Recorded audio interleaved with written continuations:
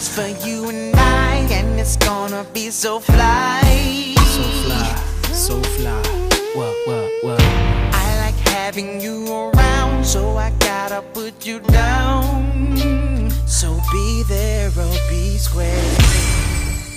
Never Levitating in my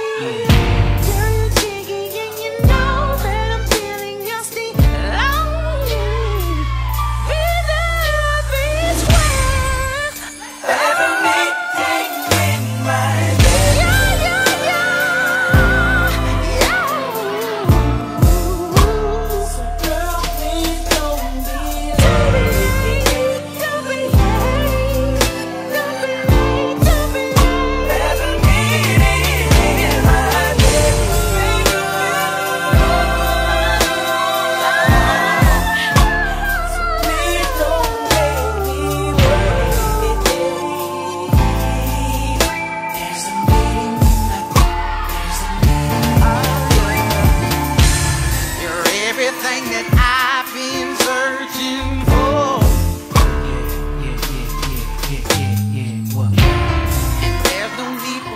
It's hard being a content creator because like when you finally get a taste of fame you have to know you have to maintain it in a way it's like it's even it's hard for celebrities too when they come out with a song and it goes.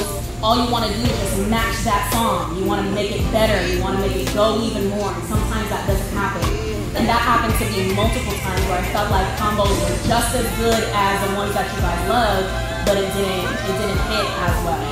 But once when, I don't know, something in me was like, let me just throw it all the way the fuck back to like my parents' days. I'm probably sure my parents ill was making love to this.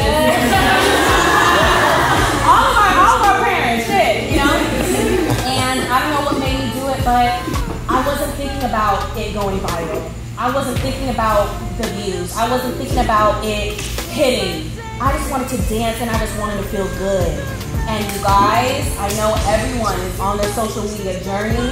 When you do not try to make it go, those are the ones that fucking go. You know what I'm saying?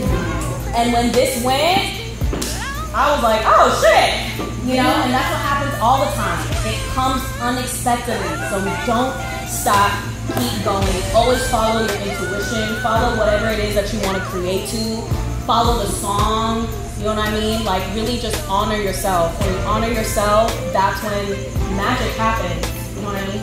So this combo, it holds, I hold it near and dear. I don't even, sometimes I didn't even want to touch it because I'm like, nah, it had its moment, it had its moment. If I bring it back, it has to be, you know what I mean? And there I go again, trying to top myself. But that happens naturally when you're a competitor like me. I'm always wanting to strive for better, be better. You know, my body is changing, the way that I dance is changing. I just want to embrace that. But the truth is, whatever you give today, whatever you give tomorrow, it's always going to be enough. Because it's your journey, it's your story, it's your body story, it's your, it's your dancer, it's your creative movement story. Everything about that, whether it's a good day or a bad day, everything about that is necessary to get you to the point that you want to go. Whether it's just the best dancer that you can be, whether it's on stage, whether it's on tour, whether it's music video, whatever the situation is. Make sense?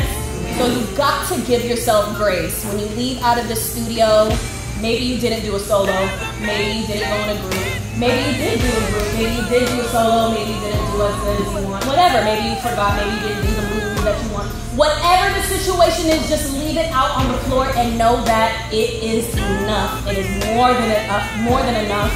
It is great. It is fantastic. It is appreciated. It is accepted it is cherished in the Stu. Everything, every dancer that dances in the Stu, Los Angeles studios, it's cherished and recorded and remembered. Okay? Um, so really just, just pour your heart out.